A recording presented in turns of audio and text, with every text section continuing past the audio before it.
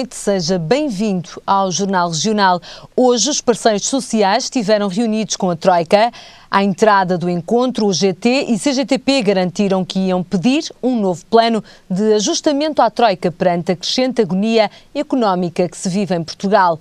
À saída, os parceiros sociais estavam divididos quanto à análise da reunião. Os parceiros sociais estiveram hoje reunidos com os representantes da Troika em Portugal.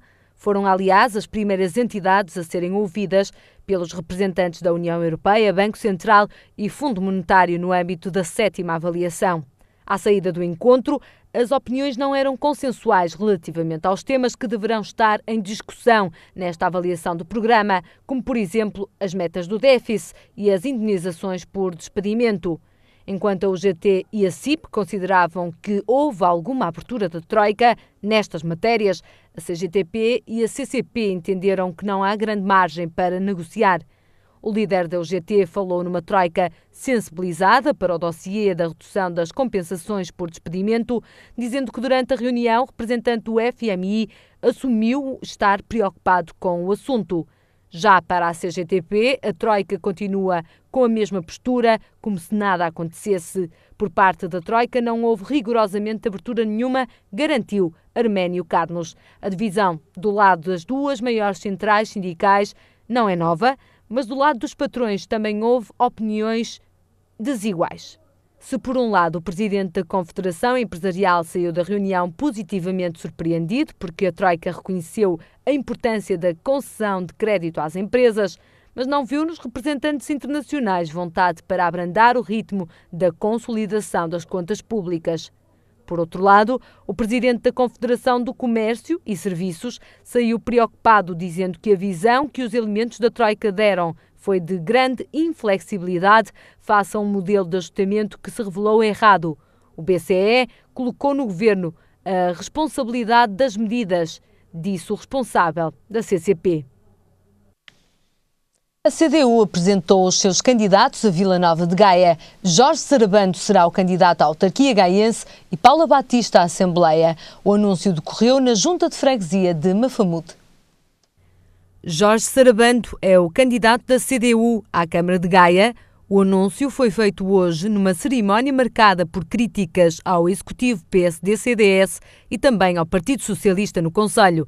Sarabando fala em conivência dos socialistas, por isso mesmo rejeita coligações. Mas a coligação à esquerda uh, não está neste momento colocada eh, não sei, por exemplo, no que diz respeito à comunicação social, normalmente coloca o PS como uma força de esquerda, mas veja, como aqui em Gaia, o PS de Gaia esteve ao lado da atual maioria PSD-CDS, por exemplo, na extinção das freguesias. Esteve ao lado da maioria PSD-CDS na adesão ao plano de apoio à economia local. E não, não votou contra, nem, nem se opôs ao atual orçamento e plano de atividades, que são instrumentos fundamentais da gestão do município. Então, como é que a CDU poderia fazer um entendimento com o Partido Socialista quando em questões nucleares para a vida deste Conselho e o seu desenvolvimento, enfim, estão de braço dado com a atual maioria de direita? Para já, é tempo de recuperar a variação na autarquia, perdida nas últimas eleições autárquicas em 2009. E apesar de Menezes não poder recandidatar-se e da escolha do candidato social-democrata estar em volta em polémica, o comunista não espera um processo eleitoral fácil. Todos os combates eleitorais são difíceis. Todos os combates eleitorais são difíceis. Muito do nosso trabalho, eh, que julgamos ser meritório, corresponde corresponde, enfim, a procurar, a procura de resolução para os problemas da população, infelizmente não são conhecidos e o, e o candidatos da maioria, o, eh, aliás o atual Presidente da Câmara, uh, outros vereadores, este candidato, uh, aparecem praticamente todos os dias na televisão. Portanto, é um combate muito desigual, é um combate muito desigual. Mas agora, no que diz respeito aos problemas do Conselho e ao nosso programa para uma, o desenvolvimento de Gaia, isso teríamos, se tivesse reconhecimento eleitoral, teríamos uma séria vantagem sobre esses concorrentes. Vila Nova de Gaia está na lista dos conselhos mais endividados. Por isso, a dívida e o controlo orçamental da autarquia está na lista das prioridades da coligação CDU-PEV. Em primeiro lugar, tem que ser honrar os compromissos e pagar aquilo que se deve. E, por outro lado, adotar medidas de gestão de maior contenção nos gastos eh, e, e, portanto, de forma mais eh, criteriosa da utilização dos recursos eh, que são públicos. Não é um trabalho para um, um, mês, nem para um ano, e certamente esta situação vai marcar o próximo mandato muito fortemente. O partido acusa o atual executivo de fazer um conselho a duas velocidades e muito desigual. Por isso, já no próximo dia 16 de março, vai promover uma marcha contra as atuais políticas. No encontro de hoje, foi também anunciado o nome de Paula Batista para a Assembleia Municipal. A cerimónia decorreu na Junta de Freguesia de Mafamude. Seguimos agora com a atualidade regional. A partir de amanhã, os funcionários da Câmara de Aveiro estão dispensados do trabalho no dia de aniversário.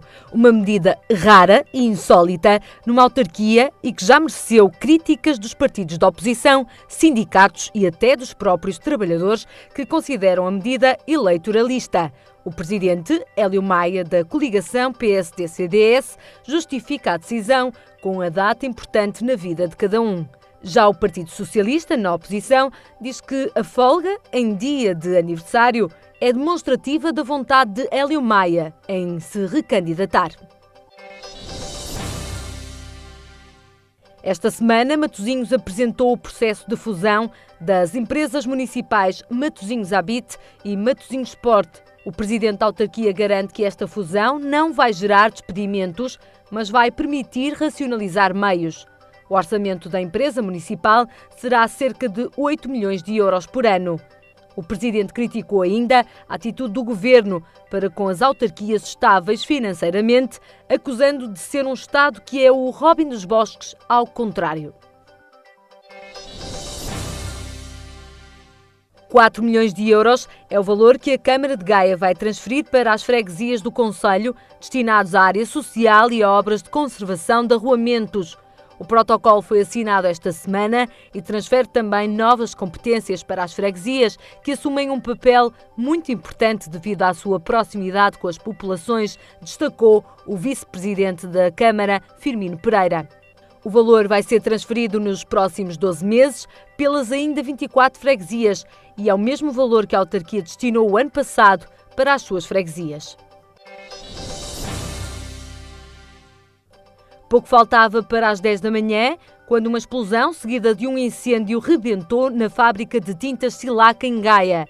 A explosão fez, ao que tudo indica, quatro feridos, um deles com gravidade. O incêndio foi combatido pelas corporações de bombeiros do Conselho e também pelos sapadores de Gaia. A fábrica está na freguesia de Pedroso, ocupa cerca de 4 mil metros quadrados e fica próxima de uma área residencial. Na fábrica trabalham 49 pessoas. Esta quinta-feira foi o último dia de pontificado do Papa Bento XVI. A partir de hoje, o conclave para a eleição do novo Papa pode reunir a qualquer momento. Joseph Ratzinger vai permanecer nos próximos dois meses em Castel Gandolfo, perto de Roma. Hoje foi o último dia do pontificado de Bento XVI. O ainda Papa começou amanhã numa cerimónia de adeus aos cardeais na Sala Clementina, no Vaticano, onde prometeu obediência incondicional ao seu sucessor. O Papa falou individualmente com cada um dos cardeais. A partir desta data, a qualquer momento pode ser reunido com clave para a escolha do próximo Papa. Quando isso acontecer, Bento XVI, agora Joseph Ratzinger, estará em oração. Por volta das quatro da tarde, hora de Lisboa, Bento XVI partiu de helicóptero para o Palácio Apostólico de Castel Gandolfo, a 25 quilómetros do sul de Roma. O último ato público do Papa aconteceu pouco depois das 16h30, com uma saudação à população a partir da varanda central de Castel Gandolfo, a propriedade do Vaticano e residência de verão dos Papas, onde ficará nos próximos dois meses. Passaram exatamente 17 dias desde que Bento XVI anunciou a resignação ao seu pontificado. O Papa justificou esta decisão pela falta de forças para continuar. Desde então, muitas notícias sobre a saúde frágil de Ratzinger vieram a público. Sabe-se, por exemplo, que estará praticamente cego do olho esquerdo e que foi aconselhado a limitar as viagens aéreas. O próximo Papa será o número 266 na história a assumir a liderança da o policial português, quarta divisão do realizador Joaquim Leitão, chega hoje às salas de cinema nacionais. Produzido por Tino Navarro, que também assina o argumento, o filme tem como ponto de partida o desaparecimento de um rapaz de 9 anos de um colégio privado. A polícia monta uma grande operação para o encontrar e para descobrir o que lhe aconteceu. Aqui fica o trailer.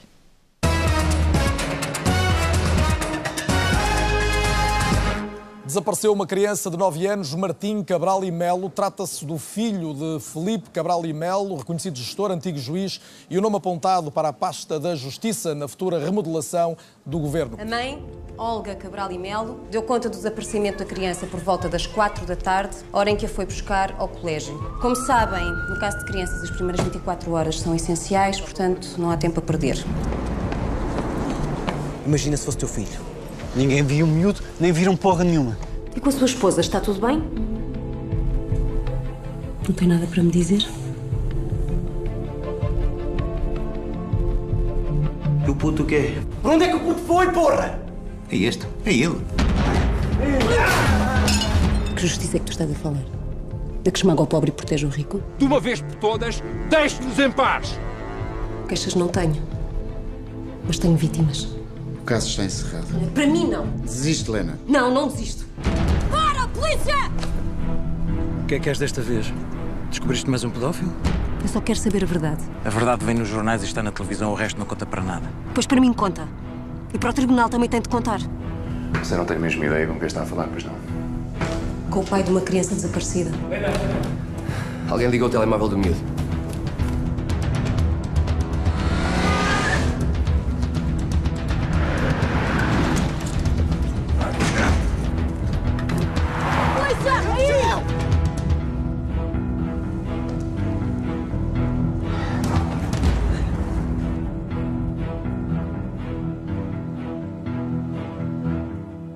Sabe de alguma coisa, se viu ou ouviu algo que possa ser útil, não hesite em contactar a polícia, a quarta divisão.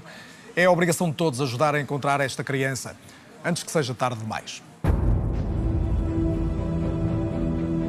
Portanto, isto quer dizer que está inocente. É isso?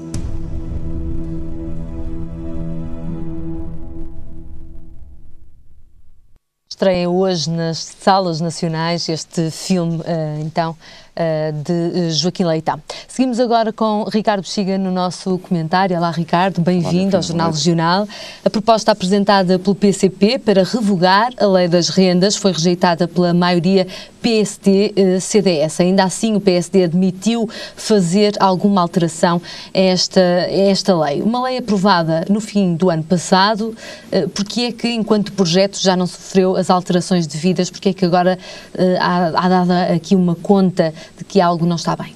Bom, porque de facto é uma lei que traz um conjunto de situações que, do ponto de vista de mercado, poderiam eventualmente resolver a questão do mercado de arrendamento está parado porque não compensava aos senhorios uh, arrendar casas uh, a preços e com insegurança do ponto de vista de processo de despejo, mas ao mesmo tempo descurou o lado social.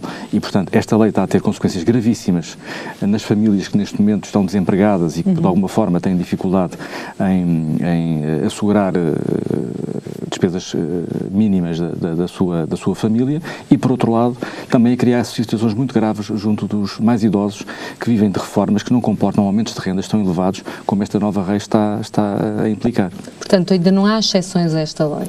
Ela não consagra exceções, é isso? Consagra exceções, mas exceções que são inadequadas à crise que neste momento as famílias atravessam, eh, designadamente as famílias mais idosas, as famílias desempregadas e, sobretudo, parte de uma realidade que é a possibilidade do Estado atribuir uma renda social às famílias carenciadas, a renda essa que seria, seria paga e assegurada pelo Instituto, uh, pelo Instituto de Habitação, pelo Instituto Nacional de Habitação, só que o Instituto não tem verbas para conseguir garantir essas, esses apoios sociais e, portanto, vamos ter uma situação em que, ao abrigo desta lei, vão ser feitas, como já estão a ser feitos, aumentos de rendas exponenciais, as famílias não podem pagar e o Estado não consegue garantir rendas sociais.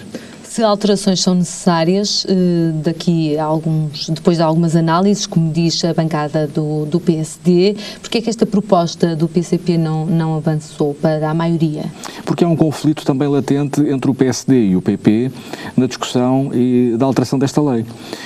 Quem produziu a lei foi a ministra Assunção Cristas, que é do PP, que é uma defensora de uma forma inexplicável, intransigente da, da aplicação desta lei e que se recusa a alterá-la, e por outro lado o PSD que entende que de facto esta lei é uma lei que está a criar injustiças muito grandes e que estaria disposto a alterá-la. Como não se entendem, estão a colocar questões políticas e questões de protagonismo político à frente dos interesses das pessoas e portanto não foi possível a maioria conseguir acertar uma solução que pudesse viabilizar uma alteração que é essencial porque neste momento há já um conjunto de famílias portuguesas que não têm qualquer hipótese de pagar as rendas de sua casa.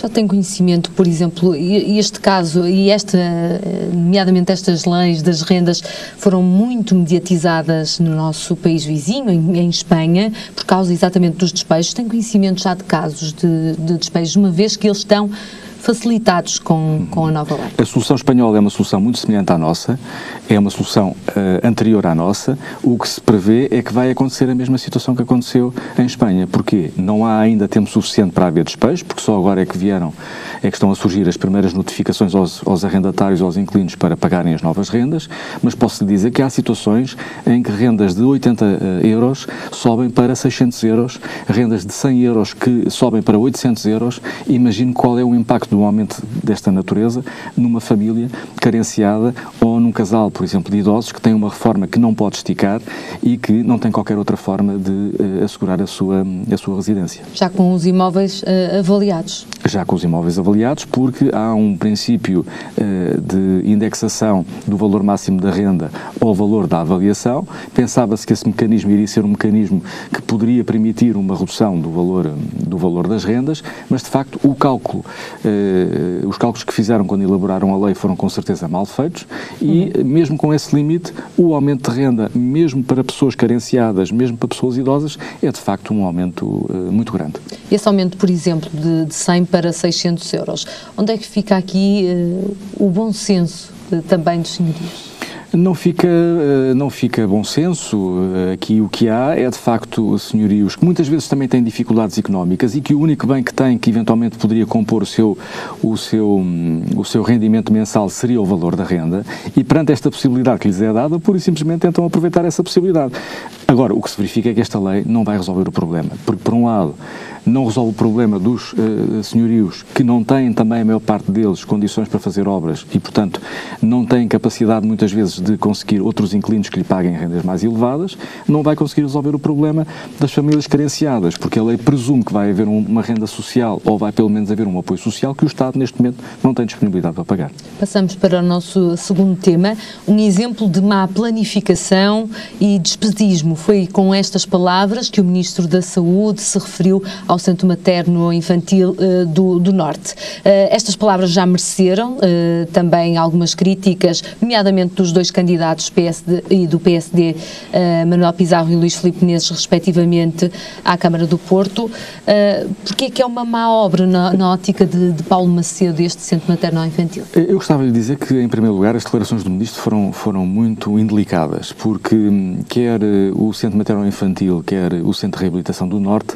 são duas obras emblemáticas que foram sempre uma das grandes uh, reivindicações uh, dos profissionais de saúde e dos utentes de saúde do Norte. Porque, curiosamente, o Ministro não fala, uh, nem diz as mesmas críticas relativamente a outros equipamentos que estão a ser construídos em Lisboa. E, portanto, o que se questiona é porque é que ele vem ao Norte com essas declarações, dizendo que são equipamentos que não vale a pena serem construídos no Norte, porque há, porque há já um, um centro em Alcoitão e que, relativamente ao centro materno-infantil, temos os hospitais a funcionarem com, uh, com os atuais serviços. Ele uh, não percebe é que, de facto, o Norte não pode ser discriminado relativamente ao Sul. Do ponto de vista demográfico, nós continuamos a ser a região que está em maior crescimento do ponto de vista de natalidade e, neste momento, os hospitais, designadamente o Hospital de São João e o Hospital de Santo António, não têm condições para garantir nem qualidade de assistência, nem qualidade de residência a todos aqueles que têm que recorrer ao centro, aos, aos cuidados materno-infantis e, portanto, não, não faz sentido esta lógica meramente financeira a meu ver, discriminatória do Norte relativamente ao Sul. Como muitas vezes se diz, falta alguma Portugalidade aos políticos eu acho que falta, eh, o que existe é, infelizmente continua a existir, é muito centralismo em Lisboa. Existe, como referimos há pouco, uma corte em Lisboa que acha que tem que ser tudo construído em Lisboa. Tudo que seja fora de Lisboa é despesismo, não faz sentido, como que se existisse uma espécie de cidadãos de primeira em Lisboa e cidadãos de segunda no Porto, que é um discurso que, a nosso ver, tem que ser uh, totalmente ultrapassado e repudiado. Mesmo assim, o, aquele que for... Uh o vencedor da, nas autárquicas 2013 à autarquia do, do Porto pode ter uma voz mais firme para, para o Norte? É, é fundamental. Eh, eu costumo dizer que, desde o tempo do, do Dr. Fernando Gomes e do professor Vieira de Carvalho, que não temos, de facto, uma liderança forte que consiga lutar contra este centralismo de Lisboa. E eu espero que as próximas eleições autárquicas surjam, eh, sirvam para surgir novos líderes nos diversos eh, conselhos que constituem não só a área metropolitana, mas o Distrito do Porto, consigam dar um novo elan a esta capacidade de afirmação da, da Força do Norte e sejam capazes de, no quadro até dos novos desafios que será o quadro comunitário de apoio que aí vem, a capacidade de lutar por grandes projetos de investimento públicos que sejam feitos no Norte, tal como estão uh, a ser feitos em Lisboa. Mas, Ricardo, depois quantas feitas, vemos que, através desse, do, do quadro de referência, a maioria do investimento vai mesmo parar... Uh, a Lisboa e a Val do Tejo. Sim, até incluíram, até arranjaram uma teoria curiosíssima, uma teoria que, que, que tinha a expressão do spillover, porque diziam que o investimento em Lisboa tinha um efeito multiplicador muito maior do que se o investimento fosse feito eh, ou no Porto ou noutra região do país. Isto é, defendiam que tinha que se criar uma capital muito forte para alavancar o desenvolvimento no resto do país. Verificou-se que era uma teoria eh, meramente livresca, que não teve qualquer capacidade de criar desenvolvimento coeso e coesão territorial em todo o país e, portanto, eh, temos que, de facto, perceber que só vai haver um país desenvolvido se houver uh, coesão territorial e um desenvolvimento uniforme em todas as regiões do país, desde logo como forma de fixar recursos humanos de qualidade que permitam uh, criar emprego, desenvolvimento económico e empreendedorismo em todo, em todo o país. O nosso terceiro tema leva-nos de regresso à Assembleia. O PS marcou um debate de urgência para esta sexta-feira, exatamente para discutir alternativas para a saída uh, da crise. É prioritário que, de facto, uh, haja aqui uma, uma mudança, ou seja, que se, não se olhe só para o país de hoje, mas que país é que queremos amanhã? Eh, eu dizia que dizia que antes de mais é prioritário dar uma mensagem aos portugueses, é que há alternativas a esta política, porque senão corremos o risco de eh, também em Portugal surgir nas próximas eleições situações como aquela que vivemos em Itália, que é um profundo descontentamento com os políticos tradicionais e com os partidos tradicionais e a fuga para partidos As alternativas de alternativas que não são mera, eh, minimamente credíveis, mas que são um cartão vermelho que os cidadãos dão face aos partidos políticos e, portanto, eu penso que é essencial neste momento mostrar às pessoas que há alternativas a esta política de austeridade que o Governo está a seguir. Por outro lado, é necessário também olhar para o futuro. E para olhar para o futuro é eh, também necessário iniciar já um debate sobre quais são as grandes estratégias, qual vai ser a grande vocação para este país no contexto global, não só europeu, mas também mundial em que se encontra inserido. E o PS, com esta medida, procura de facto iniciar hoje um debate de alternativas e também também da afirmação de um novo projeto no contexto do desenvolvimento de Portugal uh, no âmbito internacional. Carlos Zorrinho tinha pedido a presença de, do Primeiro-Ministro no Parlamento para esta discussão. Ao que parece, Pedro Passos Coelho não vai poder uh, comparecer. Era importante também uh, receber este, esta abertura do, do chefe do, do, Governo para a discussão de alternativas. Não, é fundamental porque nós não podemos olhar para a, a saída da crise com a perspectiva que, a meu ver, o Governo está a seguir, que é a reforma do Estado E nós temos que ir muito para além da reforma do Estado. Nós temos, de facto, que encontrar uma alternativa de desenvolvimento para este país. E, sobretudo, não podemos achar que esse, essa alternativa vai apenas residir no famoso corte de 4 mil milhões, que é o único que interessa ao Governo e ao Primeiro-Ministro discutir. E, portanto, era essencial que eh, na Assembleia da República, que é de facto o local onde todas estas questões devem ser discutidas, o Primeiro-Ministro estivesse também a dizer, para além dos 4 mil milhões, quais são as alternativas que ele tem para o desenvolvimento do país. Estamos eh, exatamente em cima uh, da sétima avaliação da Troika uh, ao nosso país. Muito se tem dito desta sétima avaliação. Há quem admita mesmo que as medidas de austeridade ou os prazos possam ser suavizados para o nosso país. Acredita nisso? Uh, vamos ver, uh, esta avaliação é uma avaliação, infelizmente, de folha de Excel, é uma, uma, uma avaliação pura e simplesmente financeira, isto é, se estamos ou não estamos a cumprir o calendário que, do ponto de vista de cortes financeiros, designadamente no Orçamento Geral do Estado e de equilíbrio das contas públicas, está ou não está a ser conseguido. Falta o resto. Falta a avaliação económica das consequências destas políticas. E essa avaliação a Troika não o faz. E por isso é que... Era a tal avaliação política uh, que pedia ao secretário-geral do seu partido. Exatamente, nós temos que avaliar quais são as consequências destas políticas financeiras e as, políticas, e as consequências destas políticas financeiras, não só do ponto de vista económico, mas também do ponto de vista social. E há que perceber se esta avaliação, que é considerado uh, a prioridade do governo, está ou não está a ter um impacto muito negativo, como nós entendemos que está, a nível económico e a nível social. Ainda hoje os parceiros saíram da reunião com a Troika uh, com opiniões diferentes. Haverá alguma abertura destas três instituições em dar um novo rumo às políticas, a esta tal receita uh, da, da, Troika, uh, dar um novo rumo a esta receita exatamente para os países sobre resgate financeiro? Eu acho que Portugal aqui está numa posição privilegiada para beneficiar de uma maior flexibilidade porque é um das bom políticas, aluno. porque está a ser um bom aluno e porque é o único exemplo que eventualmente a Troika pode apontar como de algum sucesso às estratégias que eles estão a defender, porque todos os outros países, designadamente a Grécia e a Irlanda, os pacotes eh, de, de estratégia desenvolvidos pela, pela Troika não estão a funcionar. E, portanto, com base nessa tentativa de criar em Portugal um exemplo de sucesso, eventualmente podemos conseguir aqui condições mais flexíveis e talvez irmos para além da mera avaliação financeira e começarmos a perceber